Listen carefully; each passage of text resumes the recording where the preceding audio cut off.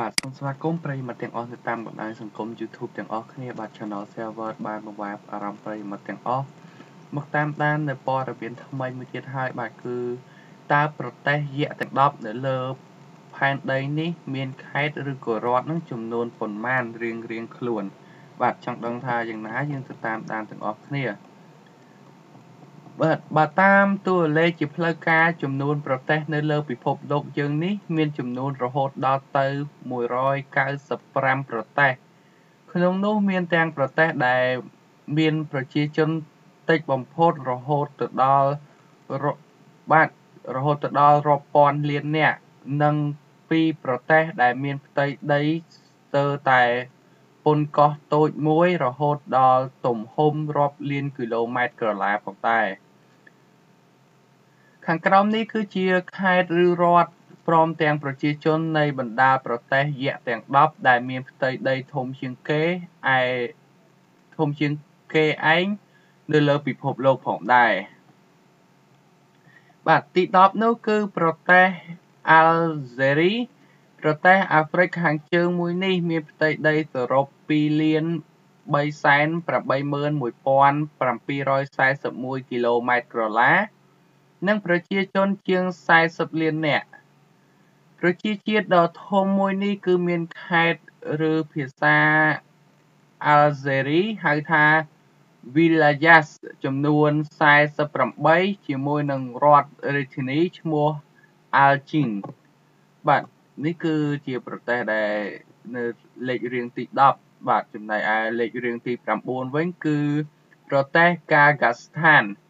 ប្រជាជាតិអតីតស្ថិតនៅក្រោមសហភាពសូវៀតមួយនេះស្ថិតនៅតំបន់អាស៊ីផងដែរដែលមានផ្ទៃដីធំធេងខ្លាំងណាស់រហូតទៅដល់2លាន7សែន24900គីឡូម៉ែត្រក្រឡាជាប់លេខ9លើโลกជាមួយនឹងប្រជាជនសរុប18លាននាក់រស់នៅក្នុងខេត្តចំនួន14និងរដ្ឋធានីឈ្មោះ អាស្ដាដាផងដែរបាទនេះគឺជាប្រទេសធំជាងគេទី9បាទគឺអតីតក្រោមសហភាពសូវៀតពេលនេះបានផ្ដាច់ចេញមកហើយគឺជាមួយនឹងរុស្ស៊ីគឺធំដូចគ្នា បាទទី8នោះគឺប្រទេសអាសង់ទីន ប្រទេសអាមេរិកខាងត្បូងមួយនេះគឺមានផ្ទៃដីទំហំ2លាន784,400គីឡូម៉ែត្រក្រឡា ជាមួយនឹងប្រជាជនសរុបជាង 44 លាននាក់ ប្រទេសដ៏ធំធេងមួយនេះគឺមានខេត្តចំនួន 23 និងរដ្ឋធានីឈ្មោះថា Buenos Aires បាទគឺផ្ទៃដីធំមែនតែនគឺមានរដ្ឋនិងនឹងគឺចំនួនតែ23ទេកម្ពុជាយើងមានទៅដល់25ខេត្តនិងក្រុងបាទចំណែកឯទី7វិញគឺប្រទេសឥណ្ឌា មហាជៈលេខ2ប្រចាំតំបន់អាស៊ីមួយនេះក៏មានប្រជាជនច្រើនលំដាប់លេខ2នៅលើលោកផងដែរគឺរហូតទៅដល់ជិត1300លាននាក់ទៅហើយជាមួយនឹងផ្ទៃដីដ៏ធំធេងឥណ្ឌាមានរដ្ឋមានរដ្ឋចំនួន29និងរាជធានីឈ្មោះ New Delhi ខណៈម៉ុងបៃជាទីក្រុងសេដ្ឋកិច្ចធំ ដែលជាដែលមានប្រជាជនរស់នៅច្រើនបំផុត ប្រទេសឥណ្ឌាមានផ្ទៃក្រឡាជាង3លាន2សែន87000គីឡូម៉ែត្រក្រឡាផងដែរបាទឥណ្ឌាគឺជាប់លេខ7ចំណែកឯលេខ6វិញគឺប្រទេសអូស្ត្រាលី បាទអូស្ត្រាលីក៏ធំមិនណយដែរគឺជាប់លេខ6ប្រទេសនេះមានផ្ទៃដីធំធេងណាស់គឺយក មួយទ្វីបតែឯងតែម្ដង ដែលមានទំហំនោះគឺ7លាន7សែន41220គីឡូម៉ែត្រក្រឡា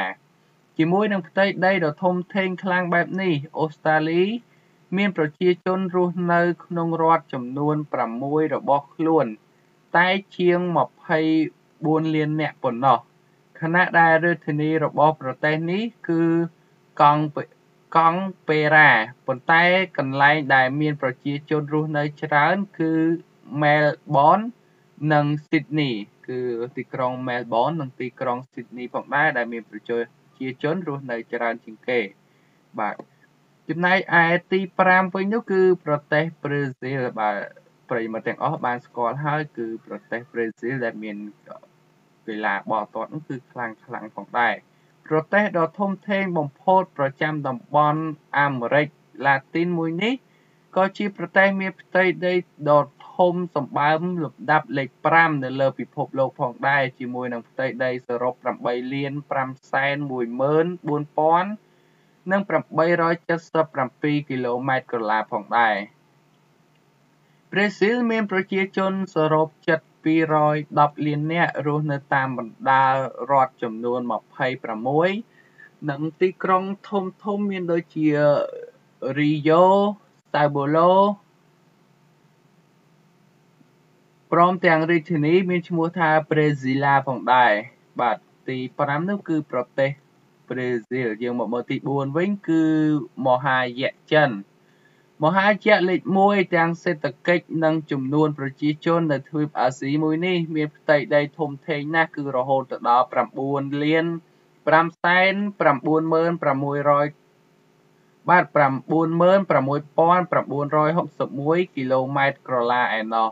ដែលជាប់ចំណាត់ថ្នាក់លេខ4នៅលើពិភពលោក ប្រទេសចិនមានខេត្តសរុបចំនួន34និងទីក្រុងធំធំជាច្រើនទៀតដូចជាប៉េកាំង គឺជារដ្ឋធានីធានចិនសៀងហៃ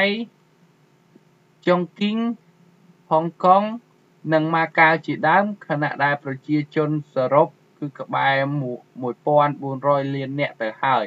បាទគឺសៀងហៃហុងកុងអីនេះគឺស្ថិតស្ថិតនៅក្នុងប្រទេសចិនទាំងអស់ទេ បាទយើងមកមើលទី3វិញ បាទទី3នោះគឺមហាយៈយើងដែរហើយគឺមហាអំណាចពិភពលោក គឺសហរដ្ឋអាមេរិកមហាមហាអំណាចយោធានិងសេដ្ឋកិច្ចលំដាប់លេខ1នៅលើពិភពលោកនេះគឺមានផ្ទៃដីសរុប90000បាទសន្តោសគឺ9លាន8 226,675គីឡូម៉ែត្រក្រឡាជាប់លេខ3នៅលើពិភពផែនដីរបស់យើងអាមេរិកមានរដ្ឋសរុបចំនួន50និងរាជធានី ឈ្មោះ Washington DC ជាមួយនឹងប្រជាជនរស់នៅសរុបជិត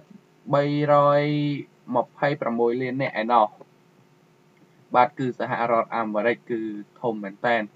បាទយើងមកមើលទី2វិញបាទគឺប្រទេសកាណាដាបាទគឺកាណាដាគឺធំជាងអាមេរិកធំជាងចិនអីទៀតបាទគឺធំមែនតើដែលសូម្បីតែខ្ញុំបាទក៏មិនដែលដឹងដែរថាកាណាដាធំដល់ថ្នាក់នេះ បាទគឺកាណាដាជាប់ចំណាត់ថ្នាក់លេខ2ប្រជាជនប្រជាជាតិដ៏ត្រជាក់សន្ធឹងដល់ចិត្តពលខាងជើងភពផែនដីនេះ មានផ្ទៃដីធំធេងខ្លាំងណាស់រហូតទៅដល់